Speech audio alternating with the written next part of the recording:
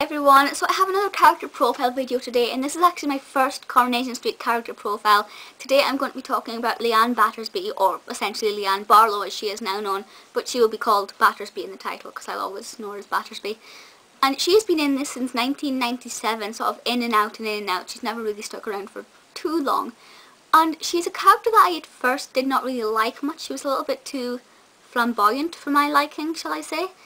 But now she is probably now that Claire's left, she's probably my favourite character in Coronation Street and I do absolutely adore her. Obviously the whole thing that she was a bit of like a, the fact that she was an escort for quite a while did give her character a bit of a, bit of a, a bit of a bed to fall back on when things are good in her life that always gets thrown in her face.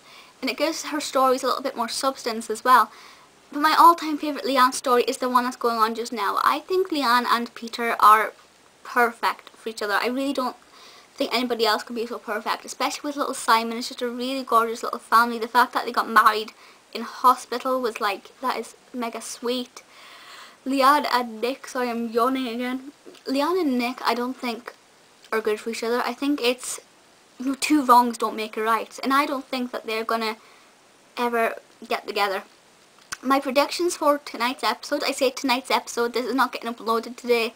Um, it'll be uploaded on, let me check, Wednesday, so I will already have known the answer to my predictions, but my predictions for the wedding is that, as far as the clips go, Peter announces what Nick's been doing and Leanne have been doing, they run off and Nick and Leanne get married, eventually.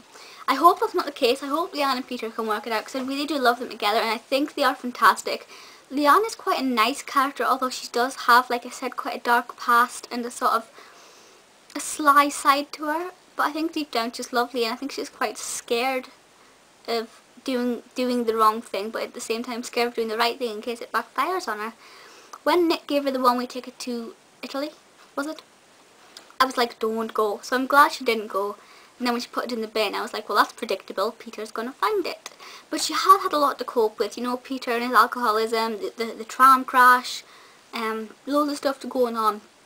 And of course, she's like Janice's Janice's best friend really, but it's like her stepdaughter, so it's kind of like, you know, it's quite a close relationship they have, and I really do like like that added aspect, and I do not want Leanne to leave at all. Jane Danson is the one of the most fantastic actresses in Coronation Street, and one of my favourite actresses of all time. You know, I'd love to meet her in real life, it'd be fantastic.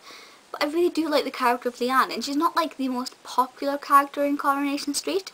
You know, like when somebody says name a character in Corrie, like the big fans will name like um, Carla or Becky or Sophie and Sean, you know. Not many people will name Leanne, but I think, well, now they will because of her big story, but generally speaking, but I think she is brilliant. And this was just a really brief video just to say, yeah, I like, like Leanne, I think she's great, and the story that's going on just now is amazing. Um, Please feel free to leave requests for any other Coronation Street character videos. I did kind of do the Sophie and Sean one, but it wasn't really a look at their characters, more the story. So if you'd like me to do a Sophie video or a Sean video, I can do that in more detail. Um, but any of the characters, old or new, please let me know. And um, that's it for now, so I'll see you next time. Bye!